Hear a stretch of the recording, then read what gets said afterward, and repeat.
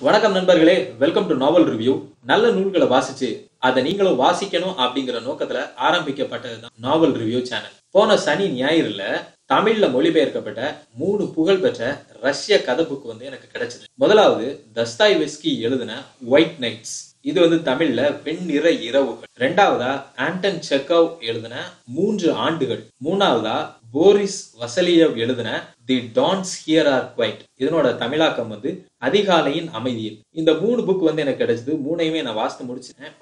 இந்த புகழ்பெற்ற ரஷ்ய எழுத்துக்கள் அப்புறம் ரஷ்ய எழுத்துலகம் பற்றி பார்க்கணும்னா ஒரு தனி ஒரு வீடியோ தான் போடணும். ஏன்னா அதுல அவ்வளவு பெருமையான விஷயங்கள் இருக்கு. லியோ டால்ஸ்டா எல்லாம் எழுத்துலகில் ஒரு ஜீனியஸ் ரஷ்ய ஸ்டோரிஸ நான் வந்து வாசிக்கிறது இதுதான் என்னுடைய முதல் தடவை. அந்த எழுத்துக்கள்ல என்ன ஸ்பெஷல் அப்படின்னா அந்த எழுத்துக்களோடைய அந்த எழுத்துக்கள்ல சின்ன சின்ன விஷயங்களை கூட ரொம்ப ரொம்ப அழகா சொல்லியிருக்கிற அந்த ஸ்பெஷாலிட்டி தான். சோ நீங்க வாசிக்கும் போது நம்மளையும் அந்த கதையோடயே பயணிக்க வைக்கிறாங்க. வாசிக்கும் போதும் வாசிச்சதுக்கு அப்புறமும் மனசு ரொம்ப ரொம்ப லேசா ஃபீல் பண்ணுது ஆஹ் நீங்க வந்து ஒரு ஏதாவது ஒரு ரஷ்ய எழுத்து கதைகளையோ ஏதாவது ஒண்ணு எடுத்துக்கிட்டு உங்க பால்கனிலேயோ இல்லைன்னா மொட்டை மாடியிலேயோ இல்லைன்னா ஒரு அருமையான ஒரு இயற்கை சூழ்நிலையில ஒரு கப் டீயோட உட்காந்து இந்த கதை புக்குகளை வாசிச்சு பாருங்க.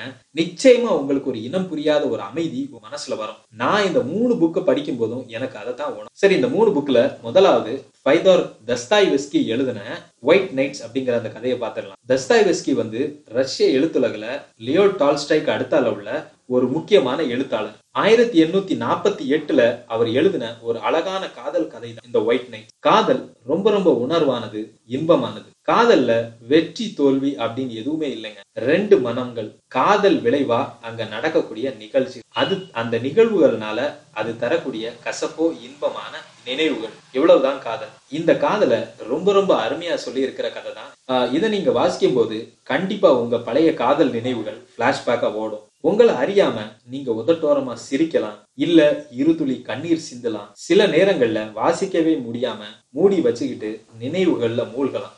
இப்போ கரண்டா நீங்க வந்து லவ் பண்றவங்களா இருந்தா எப்படி இந்த கதையில அந்த ரெண்டு பேரும் இரவு நேரத்துல நடந்து போகும்போது அவங்களுக்குள்ளால இருக்கக்கூடிய காதல் தெரியாமலே அவங்க வந்து ரெண்டு பேரும் வாக்கிங் போவாங்க? அப்போ அந்த இரவோட சின்ன சின்ன விஷயங்களை ரசிப்பாங்க. சோ அந்த ரசிக்கக்கூடிய இடங்கள் வந்து ரொம்ப ரொம்ப அருமையா இருக்கும். சோ நீங்க இப்ப லவ் பண்றவங்களா இருந்தீங்கன்னா கண்டிப்பா உங்களுக்கும் உங்க லவ்வரோட இந்த மாதிரி ஒரு இரவு வேலையில ஒரு வாக்கிங் போகும் போகணும்னு தோணும். ஸோ அப்படி வாக்கிங் போகும்போது அங்கே இருக்கக்கூடிய அந்த சின்ன சின்ன விஷயங்கள் எல்லாம் ரொம்ப அழகா தெரிஞ்சு உங்க காதல் இன்னும் ரொம்ப அழகானதாக உங்களுக்கு வந்து தோணும். சரி இப்போ கதையை பார்த்துடலாம். இந்த கதை வந்து ஒரு நபர் அந்த நபருக்கு பேர்லாம் கிடையாதுங்க. நரேட்டர் அப்படின்னு சொல்றாரு. அந்த நபர் அப்படின்னு நம்ம வந்து சொல்றோம். இல்லைன்னா நம்ம வந்து ஹீரோ அப்படின்னு. ஸோ அந்த ஹீரோவுக்கு நாலு இரவுகள்ல நடந்த அவருடைய கதையை விளக்குற மாதிரி எழுதியிருக்காங்க ஸோ நம்ம இந்த கதை நடக்கக்கூடிய இடம் வந்து ரஷ்யாவோட செயின்ட் பீட்டர்ஸ்பர்க் நகரம். ஹீரோ வந்து தனியா பீட்டர்ஸ்பர்க்ல ஒரு வீட்டுல இருக்கிறாரு. இவர் வந்து ஒரு தனிமை விரும்பி. இரவு நேரத்துல தெருவுல நடக்கிறது இவருக்கு ரொம்ப ரொம்ப இஷ்டங்க. சோ இது வந்து கதை ஆரம்பிக்கிறதுக்கு முதல் நாள் இரவு. அப்படி அவர் நடந்து போறாரு. அப்போ ஒரு அழகான பெண்ணு அவங்க வீட்டு கிரில் கம்பியில சாஞ்சு அழுதுகிறத பாக்குறாரு. ஆனா எதுவுமே விசாரிக்காம போயிடுறாரு. கொஞ்ச நேரத்துல அந்த பெண் வந்து அலர்ற சத்தம் கேக்குது. அவளை ஒரு ஆள் வந்து மிரட்டுற சோ அந்த ஆள் கிட்ட இருந்து ஹீரோ வந்து அவளை காப்பாத்துறாரு. அவளுடைய பெயர் வந்து நேஸ்டன்கா என்ஏஎஸ்டிஎன்கே நேஸ்டன்கா ஹீரோ இதுவரை எந்த பொண்ணையுமே தொட்டதில்ல. இவர் ஏன்னா இவர் வந்து ஒரு தனிமை நேஸ்டன்காவை பார்த்த உடனே லவ்ல விழுந்துடுறாரு. அப்புறம் ரெண்டு பேருமே வந்து நடந்து போறாங்க. நேஸ்டன்கா வீட்டுக்கு பக்கத்துல வந்ததும் ஹீரோ சொல்றாரு நாம மறுபடியும் மீட் பண்ணுவோமான்னு மீட் பண்ணுவோமான்னு சொல்லிட்டு இவர் என்ன சொல்றாரு? உனக்காக நாளைக்கு நாம மீட் பண்ண அதே இடத்துல இதே நேரத்துக்கு காத்துக்கிட்டேன்னு சொல்றாரு. நேஸ்டன்காவை என்ன சொல்றா அப்படின்னா சரி நான் வரேன் அப்படின்னு சொல்லிட்டு அது போக நாளைக்கு வந்து என்னோட என்னுடைய கதையை சொல்றேன். அதை கேட்டுக்கிட்டு என்னைய நீ லவ் பண்ணக்கூடாது. நாம ரெண்டு பேரும் ஃப்ரெண்ட்ஸா தான் இருக்கணும்னு சொல்றான். சோ ரெண்டாவது நாள் இரவு. அதே ஸ்பாட்ல ரெண்டு பேரும் மீட் பண்றாங்க.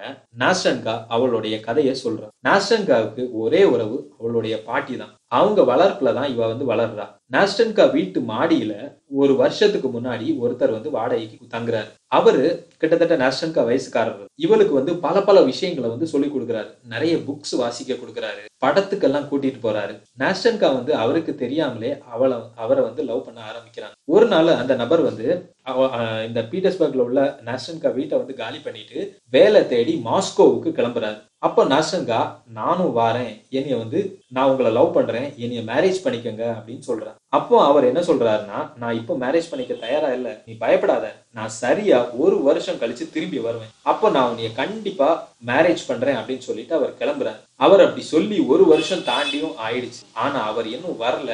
அவர்கிட்ட இருந்து ஒரு லெட்டர் கூட இன்னும் வந்து இன்னும் வரல. இப்படியே சொல்லிட்டு அந்த ரெண்டாவது நாள் இரவு வந்து கழிஞ்சு போயிருது சோ மூணாவது நாள் ராத்திரி ஹீரோ வந்து நாஸ்டன்கா மேல உள்ள காதலை மறைச்சு மறைச்சு அவர் என்ன சொல்றாருன்னா மாஸ்கோல இருக்கக்கூடிய அவளுடைய லவ்வருக்கு லெட்டர் எழுதி போஸ்ட் பண்றதுக்கெல்லாம் ஹெல்ப் பண்றாரு. மெதுவா நாஸ்டன்காவும் இவனோட கம்பெனியை வந்து ரொம்ப ரொம்ப விரும்புறாங்க. ஏன்னா இவளுக்கும் இவளுக்கும் வந்து தனிமை வந்து வாட்டி எடுக்குது.